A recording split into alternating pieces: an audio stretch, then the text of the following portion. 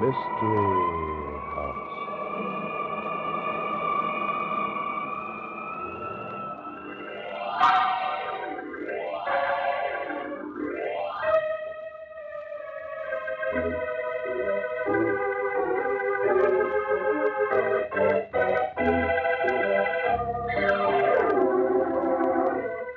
Mystery House, that strange publishing firm owned by Dan and Barbara Glenn, where each new novel is acted out by the Mystery House staff before it is accepted for publication.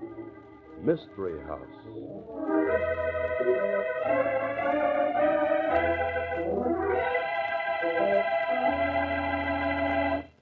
This story we're trying out for a Mystery House novel tonight, Barbie, uh, Murder Me Gently.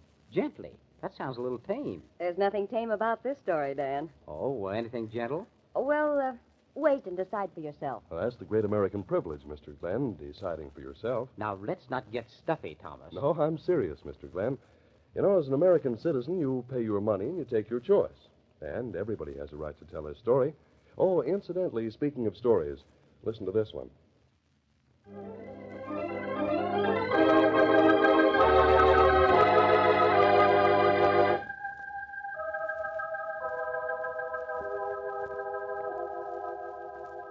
Okay, places, everybody. Uh, set the scene, will you, Tom? Murder Me Gently. Tonight's story opens in a record shop. Albums of symphonic recordings fill the shelves along one wall, and across the room are several soundproof booths in which prospective customers may listen to records. Shirley Boynton, a clerk, is talking over the telephone. Prokofiev? Listen, is it a crime I haven't heard of 'em? I bet there's plenty you don't know about the stuff that's mellow, the swing, the barrel house music. What? Sure, Mr. Balzer's here. Look, lady, I'll be happy to let you talk to him. And we've probably got what you want. All we do have is long underwear waxings. Huh? Oh, well, no offense, lady. I, but I'm beat right down to my socks with all these long hair questions. Uh, hold the line, please. Pie,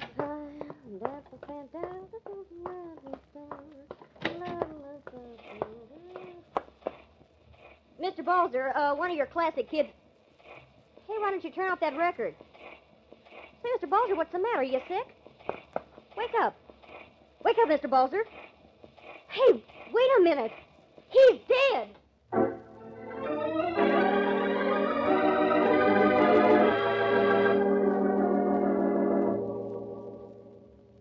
Don't try to get next to me with talk about music, Miss Boynton. I couldn't care less about music. A music shop is my idea of something to stay out of. I'm here now for just one reason. You mean because Mr. Balzer got sick and died? I mean because he was murdered, sister. But uh, couldn't he have just died? Sure, he could have bright eyes, but he didn't. He was poisoned. But, Mr. Perry, I- don't know anything about it. I'm strictly off time with the whole thing. I mean, I know from nothing but positively. I'm glad you told me, sister. Now I don't have to worry about you anymore. Just like that. You're in free. You don't need to be sarcastic. Anybody would think you suspected me. It's my business to suspect you. And you know something? I rather enjoy suspecting you. You're a music lover, and I hate music lovers. I'm not a music lover. I'm an alligator, a whoop hound. A what? Didn't you ever hear of a hep chick, Mr. Perry? Hep chick. Hep to the jive. I'm no square, and I know enough to be sure you can't pin that murder onto me. Whoa, whoa, I'm not going to pin anything on you. Not even a musician's medal. I just want information. I've already told you. I know, I know, but you haven't told me anything I can understand, nor anything connected with a murder. They uh, tell me your late boss was a Wagner fan. You got that off a record label. You're not fooling me. And he wasn't. Wagner was never his dish. Mendelssohn. He was always mumbling about Mendelssohn, almost like he knew the guy. No, we're getting somewhere. You like Mendelssohn, huh? And you like jazz. I bet you had some pretty good arguments with him, huh? No, say I did. But he was all wound up in catgut. Why, if I was running this place, I'd have all the hot recordings on the market. Slam Stewart and Tatum and some old Beiderbeckes and uh, Satchmo. and- Satchmo. Listen, are you double talking me? Ah, Satchmo's Louis Armstrong. And if you haven't heard him take off on a trumpet, Mr. Perry, you haven't lived. I'd have his records, the hard to get stuff. I'd have the alligators lined up screaming and swooning and throwing the money into the cash drawer. That's what you planned, isn't it? Your uncle agreed to back you if you could talk Balzer into selling the shop. How'd you find out about that? I told you it was my business to find out things, remember? Now, wait a minute, Hawkshaw. If you think you're going to make me confess to Make some... you. The police force don't use force, sister. It isn't nice and it isn't legal. I bet you've been reading detective stories. Oh, you... I hate you. In my business, sister, you get used to that. I've been hated by a lot of killers. Don't you call me a killer. Me? I wouldn't think of it. But you wanted old man Balzer's record shop business. You saw your chance to make a lot of money. Oh, that's You- kind of stupid. It's a motive. You'd be surprised how many murders these days are committed over trifles. A guy who don't like the way his wife wears her hair in curlers while she's pouring his breakfast coffee. Little things. Most of the trouble in the whole cockeyed world starts from little things. If you'd quit picking on me and go talk to his wife, you say he was poisoned, she'd know more about that than anybody. Yeah? Why? He ate his meals at home. I'll talk to her, don't worry. But before I leave you to your your your alligators, uh, tell me, what was that record Balzer was listening to before he died? I don't know, some long-haired thing he got in the mail this morning. You want to hear it? No more than I want appendicitis. When it reaches the point where I gotta listen to music, I'll quit.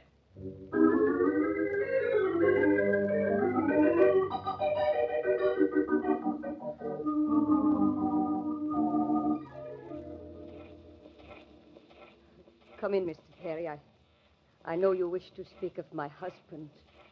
Joseph. I'm was- sorry to have to bother you, Mrs. Balzer, but I got a living to make. Let it be so, Mr. Perry. I have seen enough in this life, so I can accept my husband's death. What's that noise, Mrs. Balzer? Oh, you surprised me when you came to the door. I, I've forgotten the phonograph. I shut it off now. I'm sorry. Music, huh? Phonograph music. Don't you people ever get away from it? Music made Joseph very happy. Yeah, I suppose that could be. But didn't he worry about his shop? Well, a little, perhaps. He did not understand this modern music, what you call swing. And sometimes he told me of little spats with Miss Boynton. Spats, huh? It was as if Miss Boynton would like to change the music store, to make it all loud and noisy. But always my husband said no. He was faithful to the good, the fine music only. He worried about this, uh, uh, this alligator, Miss Boynton, huh? Ach, no. My husband did not worry. He was a happy man always. Except. except when he thought about Franz. That's a new one on me. France. Franz Cronin, our dearest friend. Perhaps you have heard of him, the violinist. A musician? I don't know any musicians, thanks. But Franz is no ordinary musician. He was insane once, and music cured him. Now he is once again a great artist. Music, the divine music, cured him. A great artist. He will come soon to play here. He's a Kraut, too. huh? Uh, pardon, I, uh, I mean, he's a German? Yeah, the three of us. We lived in a small village in Bavaria. Years ago, before we came to this country, Franz was a special friend of mine. Till I married Joseph. Sweetheart, huh? Was he sore at your husband before he went nuts? Oh, never. He, he was only sad. Sad that my love is for Joseph and not for Franz Kroll. Seen him since he got out of the birdcage?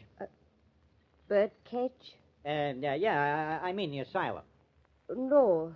You see, they experimented with Franz using his own music to cure him. And when it was not successful, there was so much in the newspapers about it that he was put immediately on concert tour. I see. There's another angle. Angle? I, I do not understand.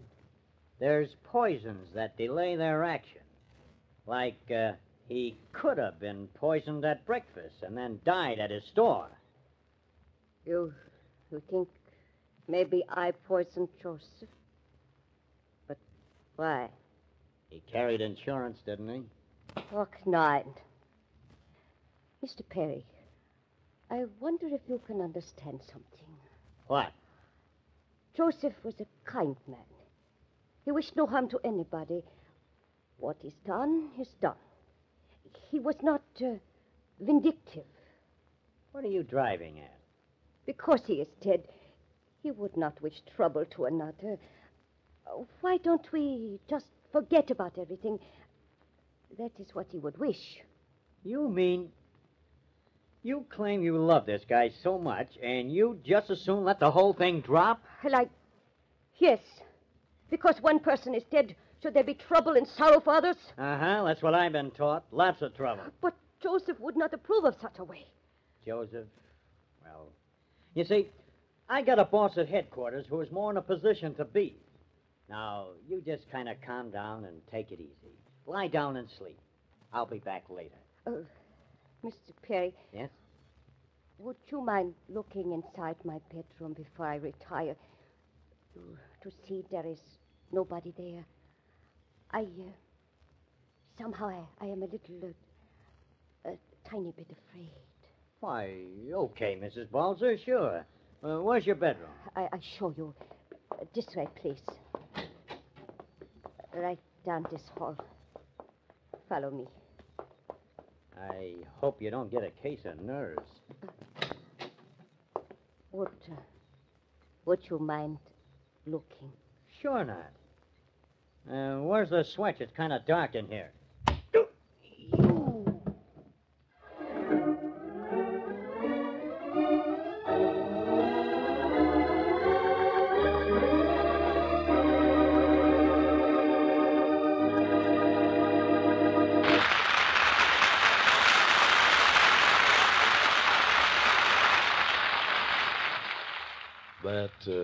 Dull thud sounded like something hitting against Detective Perry's head, didn't it? Well, when you take a job like that, what can you expect? But who hit him? The same person who murdered Joseph Balzer? That seems logical, doesn't it? And that would be. Well, we'll find out in the second act.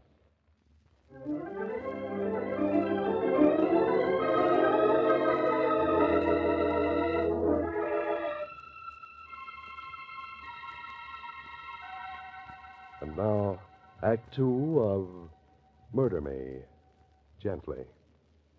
The scene is the comfortable little Balzer cottage. Mrs. Balzer is trying to convince Lieutenant Perry that she doesn't know anything about blackjack. Lieutenant Perry, you surely cannot suspect me of hitting you on the head with that blackjack. I could suspect anybody, Mrs. Balzer. I'm that kind of a guy by nature, suspicious. It was you led me into that room. But I had not pulled down the curtains. It, it was not my fault that the room was dark. No? It was handy, though. Oh, Lieutenant Perry, don't you see? You had told many people you were coming here to question me. That ain't any reason to get hit over the head, is it? Somebody must have been afraid I would say something. Somebody hiding, maybe to hurt me. It was me that got hurt, lady.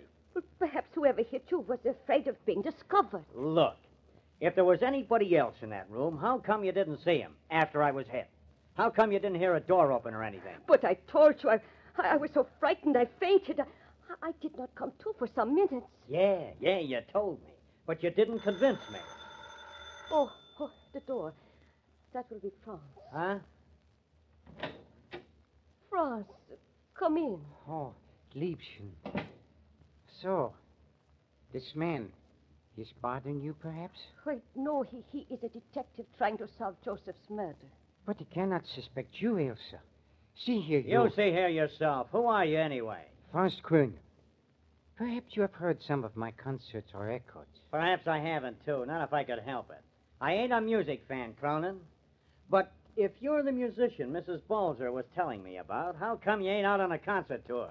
I arranged my tour to be here for a reunion today with Elsa and Joseph. It was most fortunate. Fortunate? You mean that Balzer was murdered? I mean that I should be here in Elsa's hour of trouble. How long you been here, Cronin? Oh, I see you suspect me. Well, do not worry, my friend. I did not arrive until some hours after the murder. That is true, Lieutenant. I, I met him at the train. That phonograph record you sent Joseph Balzer. Yes? What about it? It was on the phonograph when the girl found Balzer's body. Yes? Kind of funny that record would be playing when Balzer died. Oh, you think maybe my music is so bad it kills him? Any kind of music kills me. The writing on the label of that record, Cronin. Mit Wehmut for Joseph von Franz Cronin. What does that mean? you, you think to make something sinister of that, Lieutenant? It means with longing for Joseph from Franz. With longing, huh? Yeah. You think you can figure perhaps a double meaning to that? Maybe. If I do, I'll let you know. Elsa, I'm going to take you away somewhere where you will not be reminded of Joseph. Guess again, Cronin. Guess again.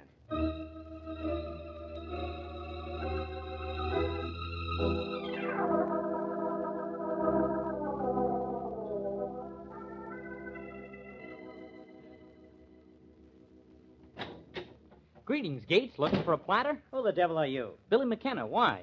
You want a record? I want to talk to Shirley Boynton. She's supposed to be in this shop. I'm a boyfriend, mister. She's heading for the airport right now, but I know this joint like a book. Airport? You mean she's leaving town? She didn't go out there just to watch the planes come in. Why, that. Easy, bud, easy. You're talking about my favorite hep chick. I'll easy you, hep chick. Oh, she's taking a run out powder, huh? She's rushing to New York to get a bunch of hot platters. She's gonna bring this shop to life. Boy, the joint'll be jumping when she loads it with some decent stuff. Come on, you. Huh? Listen, I'm supposed to be watching things here for Shirley. I'm not going anyplace. Guess again, Bub. You're going to the airport with me right now. You can't order me around. Wait Look, a minute. Junior, I'm a policeman, a detective. And I not only can order you around, but I'm apt to get rough if you don't hurry. We gotta stop that girl. Now, come on.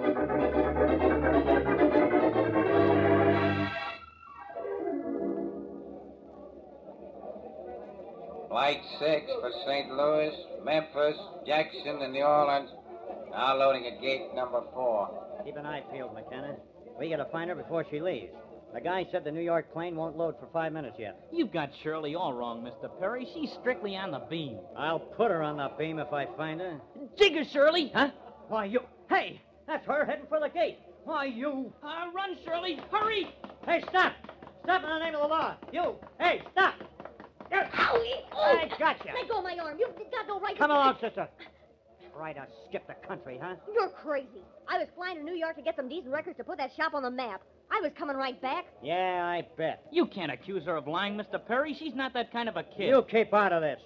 What's more, I'm going to put you under arrest for trying to help a fugitive escape. Me? Now you see here. Don't you talk to Billy that way. He had nothing to do with it. The whole thing was my idea. He hollered jiggers at you, didn't he? Technically, he was helping you get away. If either one of you causes me any more trouble, I'll make you both listen to classical music the rest of the day. Come on. But my plane reservation. You shouldn't be worrying about a plane reservation, sister. Who knows? There may be a reservation for you down at the station.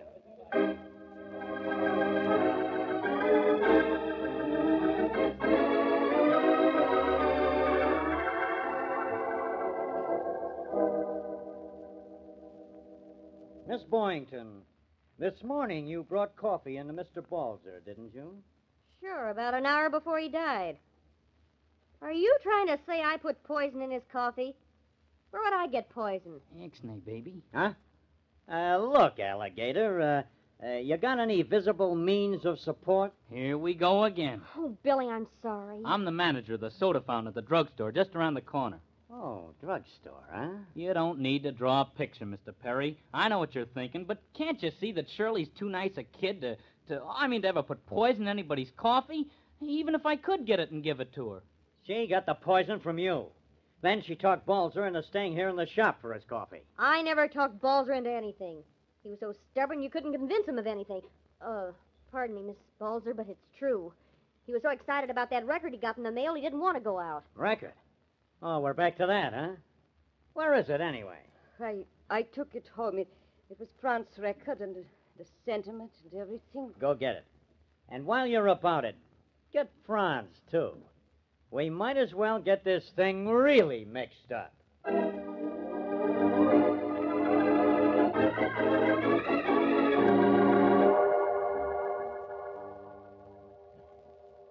Well, back so soon, Liebchen? Oh, my darling, you look tired. I'll get you a pot of tea, then you will feel better. There is no time for tea, Franz. I've got to get that record and take it to the detective. And he wants to see you, too, Franz. The record? Oh, yes. But first, there's something that we must settle, Elsa. Oh, Franz, you promised not to talk of such things. Yeah, I know. All of my life, I've wanted you, Elsa. You know that. how can you speak so? Joseph was your dearest friend. Oh, All those No, you. let us not speak of those years. The asylum is behind me. I'm cured, Elsa. Yet I need you as much as you need me, Liebchen. Please, you cannot speak so. But I will always be your very dear friend, Franz. Friend. Friend, is it? No, I do not need friendship. I need you, Elsa. I must have you, and I will. Oh, Franz, control yourself. They will take you away again. No, never, Elsa. Not if you marry me. No, no, you must go away and never come here again. Oh, Franz, what are you doing? Just pouring the tea. that record, Elsa. It was for you. Addressed to Joseph, but for you. Yeah. It said, mit Remut for Joseph von Franz Grün. With longing for Joseph from Franz Kron. Yeah. The label said that, yeah. With longing for Joseph. yeah. With longing for Joseph. Death. Franz, the tea. A little spice for it, mein Liebchen. I shall go away, as you ask, and you shall go away, and we shall never return, yeah? You have poisoned the tea. Perhaps. It does not matter. Only that we shall never return. You and I and Joseph. You killed Joseph. No, I merely gave him the remedy. He used it. Just as you will. You're insane, Franz. You killed my Joseph. Much more cleverly than I will kill you, Elsa. The stupid police will never know how Joseph died. But would you care to know before you drink your tea? Oh, no. I don't want to hear it. I won't listen. the record I sent Joseph. The label was loose on it, hanging to the center of the record by only one corner. The label was such, with such a tender sentiment. what? No. No, I saw the record. Naturally, with the label about to come off. Yeah, such a thoughtful, tender label. what would Joseph do? You, you mean you... Yeah, Liebchen. That label had a special kind of glue on it. A glue I mixed myself. And when Joseph touched the label to his tongue, he tasted the poison which killed him. And then, with the label smoothed onto the record, all evidence was gone. was, was that not clever of me, Elsa? Oh, no, no, it's horrible. Nein. On the contrary, most gentle. Much more gentle than I can be if you do not drink your tea, Elsa. Now come, we drink together. Oh, no. I'll telephone the police. Oh, no, no. Oh, oh, oh, I am so sorry, Elsa. You'll not telephone the police. You've spilled the tea, Elsa. Oh. The spiced tea. Now I shall be forced to use my hands. My hands, Elsa. The hands that bring such marvelous music from the violin. Yeah. Look at them, Elsa. Hands that want to crush you, but must do otherwise. No, no, no, no, no. I wanted so much to make it gentle. No, Elsa. no, you get a voice. No. Take your hands off that woman's corner or I'll shoot. so, you think a bullet scares me? Nein, put your gun away. I must kill Elsa and then myself. I will do it. I told you to let go of her, Cronin. Yeah, I know, but I have never obeyed orders, Lieutenant. I. You were, you were most kind, Lieutenant. Kind? I shoot a guy and that's kind? Yes, he, he talked about killing me gently. He was mad. Shooting him was the gentlest way.